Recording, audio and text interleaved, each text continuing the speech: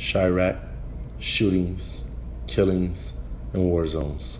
That's what the news channels tell you when referring to young men and women in Chicago.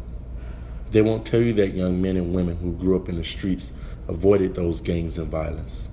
They won't tell you that there are more options in life than just death and prison. They won't tell you that some of the most successful people once snuck on those very same buses and trains. They won't tell you that you cannot have a high school diploma, that you can drop out of college and still be a business owner. They won't tell you that you can be successful in Chicago without being an athlete or an artist. But I will.